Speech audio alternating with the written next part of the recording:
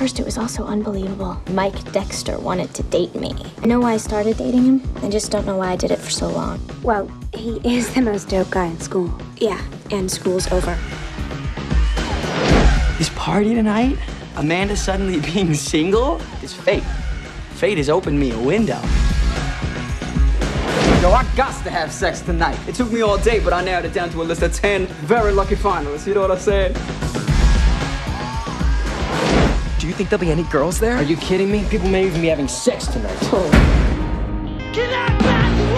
Huntington Hills High, kiss my ass! Have you seen Amanda Beckett? Yeah, man, I just saw her in there. I'm thinking about asking her out, boy. Oh, God, you're a hottie.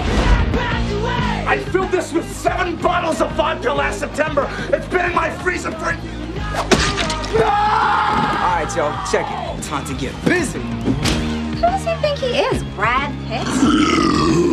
And like Gwyneth. But with bigger boobs. Oh, totally bigger boobs. I can't feel my legs.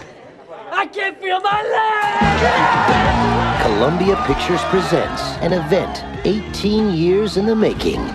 When you find out who your friends really are, I don't think she's prettier than Gwyneth. Not even. what your future really holds, I am going to have sex with someone at this party. And how one night can change your life. I don't know about you, but I really believe that there's one person out there. And for me, it's gotta be Amanda.